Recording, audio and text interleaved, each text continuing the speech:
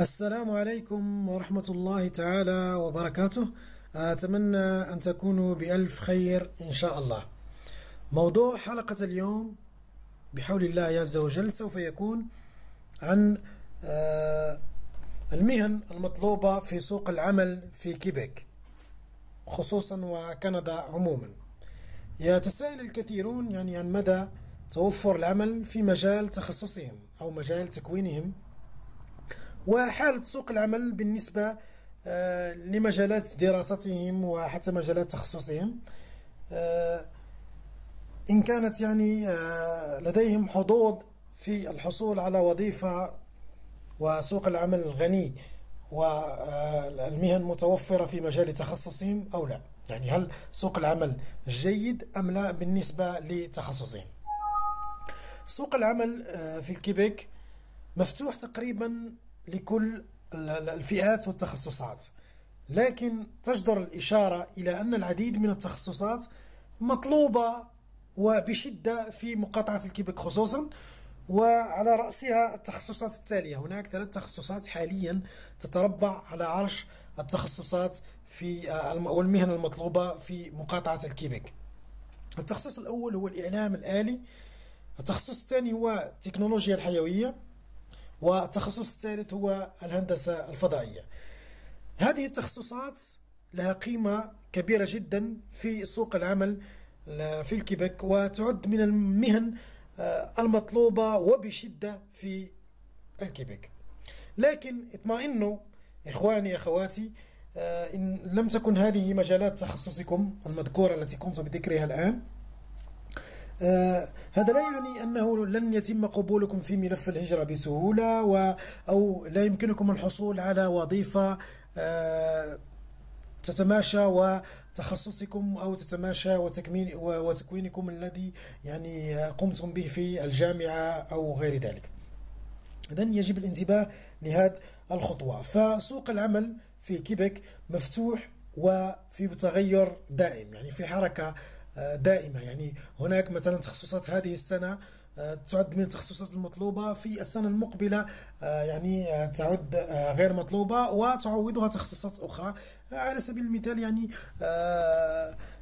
تخصص التمريض مطلوب جدا في مقاطعة الكيبيك يعني منذ عقود وفي السنوات الماضية أصبح غير مطلوب لكنه عاد من جديد وأصبح مطلوب وبشدة.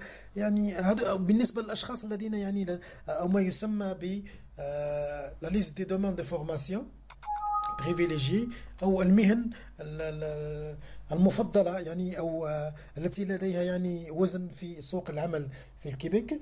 آه، أشخاص وأصحاب هذه المهن يستفيدون يعني من عدة مزايا. أولها يعني حتى يعني مدة دراسة ملفاتهم تكون أقل من مدة دراسة ملفات آه، يعني الوظائف أو التكوينات الأخرى أو ما يستفادون من ما يسمى ب accélération du traitement de la demande. يعني تسريع في عملية دراسة ملفات الهجرة الخاصة بهم. وكذلك يعني يتحصلون على المهنة بسهولة عند الوصول إلى كندا. هناك صحيحا يعني بعض التخصصات تتطلب معادلة الشهادة وإعادة تكوين يعني وأخذ مقاييس أو مواد في مجالات معينة. لكن على العموم تبقى يعني تسهل لكم دخول سوق العمل في هذه المجالات.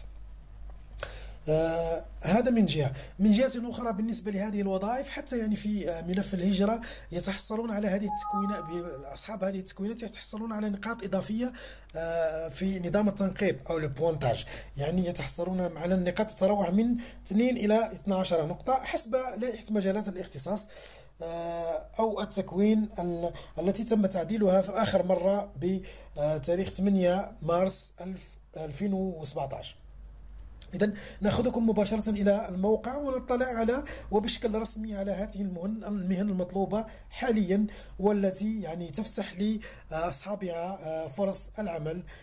في سوق العمل في الكيبك آه، نذكر فقط هذا لا يمنع بأن مثلا أصحاب التخصصات الأخرى بأن ليس لديها مثلا آه، فرص للعمل بل الجميع يتوفر على فرص للعمل والشغل في الكيبك وأنا لاحظت شخصيا سوق العمل في الكيبك متنوع جدا ويعني به العديد من التخصصات. أيضا هناك مهن مطلوبة جدا وبشدة يعني هي مهن الترصيص بلومبري مهن التلحيم المهنة اليدوية خصوصا يعني مطلوبة وبشكل رهيب جدا يعني في سوق العمل في الكيبك آه الآن مباشرة نأخذكم إلى لائحة المهن المطلوبة رسميا في سوق العمل والتي تعد من المهن آه ذات القيمة في سوق العمل في الكيبك إذا هذا هو كما تلاحظون آه دائما الموقع الرسمي لوزارة الهجرة في الكيبك www.immigration-quebec.gouv.qc.ca هذا هو الموقع الرسمي. كما تلاحظون هنا لدينا la liste des domaines de formation و دي موديفيكاسيون apportées à la liste des domaines de formation le 8 mars 2017 تم إجراء تعديلات على لائحة المهن مهن التكوين يوم 8 مارس 2017 Elle concerne le pointage de certains domaines de formation et s'applique à toutes les nouvelles demandes ainsi qu'à celles en inventaire dont l'examen préliminaire n'avait pas encore débuté à cette date يعني هذه الإجراءات تخص إجراءات التنقيط هذه تخص الطلبات التي تم تقديمها سابقا والطلبات التي يعني قدمت سابقا ولم يقوموا يقومون بالفحص التمهيدي الخاص بها وبالنسبة لي كذلك الطلبات الجديدة. اعتبارا يعني من تاريخ تقديمكم تقديمكم لطلبكم الجديد. إذا نضغط على هذا الرابط liste des domaines de formation لائحة مهن التكوين وهو بشكل PDF نقوم بتحميله. نقوم بالضغط على اوفرير أو فتح. إذا كما تلاحظون هذه هي المهن المطلوبة حسب يعني مهن المصرح بها من طرف وزارة الهجرة. وتطبيق قانون اختيار يعني الرعاية الأجانب le règlement sur la sélection des ressortissants étrangers. Cette liste prend effet le 8 mars 2017 هذه اللائحة أخذت سريان فعاليتها ابتداء من 8 من مارس 2017 إذا نلاحظ يعني هنا grille de sélection شبكة الاختيار والانتقاء ونلاحظ هنا section A هذا بالنسبة للمهن المصنفة ألف. requérant principal تمنح له 12 نقطة والزوج والزوجة تمنح لها أربع نقاط. على الجانب الأيسر لدينا مهن partie diplôme étranger على الجانب الأيسر المهن الأجنبية أو التكوينات أو الدبلومات الأجنبية وعلى الجانب الأيمن لدينا دبلومات الكيبيك. إذا بالنسبة للدبلومات الأجنبية كما تلاحظون génétique الوراثيات maîtrise génie informatique et de la construction des ordinateurs هذا خاص يعني بهندسه الاعلام الالي sciences de l'informatique أيضا وهنا هندسه الاعلام الالي وصناعه اجهزه الحواسيب بالنسبة مثلا لديهم متحصلون على دبلوم في الكيبك مثلا المحاسبة الإدارة المدرسية الإنجليزية اللغة الرسمية الهندسة المعمارية المحاسبة آه، الرسم الصناعي إلى غير ذلك. إحنا ما يهمنا هو الدبلومات الأجنبية. إذا لدينا الوراثيات علم الوراثيات ولدينا أيضا علم آه، الهندسة الإعلام الآلي وبناء أو صناعة الحواسيب وكذلك آه، علوم الإعلام الآلي. بكالوريا باك يعني يقصدون بها بكالوريا أو licence أو إجازة أو بكالوريوس بالنسبة لنا. آه إذا هذه بالنسبة ثلاث مهن فقط بالنسبة آه عفوا 12 نقطة. آه الآن لدينا دبلومات أخرى تمنح أيضا 12 نقطة مثلا techniques d'orthèses visuelles technologie de la production pharmaceutique صناعات يعني الإنتاج الصيدلاني وكذلك technologie de médecine nucléaire تقنية الطب النووي وتقنية الطب الإشعاعي هذا بالنسبة المهن التي نأخذ عليها 12 آه، نقطة. الآن ننتقل إلى المهن التي نأخذ عليها 9 نقاط أو ما يسمى ب section B أو القطاع أو المجال ب. لدينا آه، bibliothéconomie آه، علم المكتبات والأرشفة maîtrise و biophysique الفيزياء الحيوية والمحاسبة وعلوم المحاسبة كذلك الرسم الصناعي الهندسة الفضائية آه، الهندسة الغذائية الهندسة البيولوجية والطبية الحيوية الهندسة المدنية الهندسة الكهربائية تقريبا جميع الهندسات الهندسة الصناعية الهندسة الميكانيكية الهندسة النووية لدينا أيضا الهندسة الفيزيائية ولدينا الجيولوجيا علم الأرض لدينا الهيدرولوجيا sciences de علم المياه ولدينا آه، علوم التسيير ولدينا العمليات البنكية والمالية لدينا علم النفس. المهم العديد هناك مجالات عديدة وعديدة. هذه المجالات يمكنكم الاطلاع عليها مثلا بالنسبة للأداب. لدينا تراديكسيون ترجمة. بالنسبة لي شخصيا أنا استفدت من هذا الإجراء وتحصلت على آه، آه، تسع آه، أنا في الماضي تحصلت على ست نقاط فقط نعم. أصبحت الآن تسع نقاط. هذا بالنسبة للترجمة علم الحيوان المهم. هذه تخصصات تمنح لكم 12 نقطة. عفوا تسع نقاط. آه الآن يمكنكم الاطلاع سوف أترك لكم يعني رابط للموقع. آه مثلا تقنيات الهندسة المعمارية تقنيات الهندسة الهندسة البحرية architecture navale إلى غير ذلك. دائما في القطاع هذه هي المجالات المطلوبة في سوق العمل.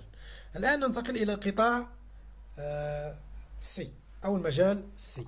هنا لدينا المحاسبة إدارة الأعمال لدينا الهندسة بعض التخصصات في الهندسة المعمارية كذلك لدينا مثلا الديموغرافيا علم الإجرام لدينا الصحافة communication journalisme لدينا أيضا هنا بكالوريوس. لأن في الأول تمنح 12 نقطة بالنسبة لعلم المكتبات la maîtrise وليس بكالوريوس. بكالوريوس تمنح لك ستة نقاط. الطاقة الاقتصاد المهم ال didactique المهم مجموعة من التخصصات يمكنكم الاطلاع عليها و آه، يعني آه، البحث عن مجال تخصصكم وأي نقاط سوف يتم منحها لكم على مجال تخصصكم. يعني جميع تقريبا 70 آه، أو 60% من التخصصات موجودة بالنسبة هنا الرياضيات اللسانيات littérature comparée الأدب المقارن الرياضيات التطبيقية. هنا فقط أنبهكم باك يقصدون بها بكالوريا وليس بكالوريا شهادة البكالوريا بل يقصدون يعني بكالوريا ثانوية عامة زائد ثلاث أو أربع سنوات. هذا هو قصدهم maîtrise خاصة يعني بال maîtrise درجة ال maîtrise. إذا هذا بالنسبة للقطاع C أو المجال C والذي منح ستة نقاط هنا لاحظوا يعني علم النفس علم النفس التربوي إلى غير ذلك. هذا بالنسبة للمستوى الجامعي وهذا بالنسبة للمستوى الثانوي. التقني تابع أيضا للمجال C أو القطاع C هذه المهن دائما أنتم يعني تلاحظون أو آه، تبحثون فقط في الجانب الأيسر يعني الدبلوم أجنبي. وليس في الجانب الأيمن بالنسبة للدبلوم الكيبيكي أو الكندي. هنا يعني آخر نقطة يمكنكم التحصل عليها هي اثنين نقاط بالنسبة للمتقدم الأساسي ونقطة للزوجة. آه، بالنسبة للاختصاصات الموجودة يعني بالنسبة لهذا القطاع أعتقد القطاع القطاع أو المجال دي غير موجودة. هنا بالنسبة للجامعة غير موجودة. غير موجودة. غير موجودة موجودة فقط بالنسبة لدبلوم الكيبيك. إذا أنتم النقاط التي يمكنكم التحصل عليها هي 12 نقطة 9 نقاط آه، أو 6 نقاط. وتعتبر هذه هي المهن المطلوبة. بالنسبة هذه لهذه المهن الأخيرة هي هذه المهن لا تتحصل عليها ولو لنقطة وهي مهن غير مطلوبة. آه، يمكنكم يمكنكم البحث عن مجال تخصصكم وإن شاء الله سوف تجدون مجال تخصصكم من بين المهن المطلوبة والتي تفتح, لكم سوق العمل في آه، الكيبك وكندا بشكل عام. إذا هذا بالنسبة للمهن المطلوبة آه، في مقاطعة كيبك والتي يعني آه، بها مزايا ومزايا عديدة. أولها تسريع ملف الهجرة الخاص بكم. ثاني ثانيا الحصول على نقاط تؤهلكم للحصول على شهادة الانتقاء الخاصة بالكيبك أو certificat de sélection du Québec بكل سهولة. لماذا؟ لأن سوف يمكن يتم تنقيطكم بالإضافة إلى آه، دبلومكم يتم تنقيطكم على مجال تخصصكم. ويمكنكم أن تحصلوا على 12 نقطة أو 9 نقاط أو 6 نقاط.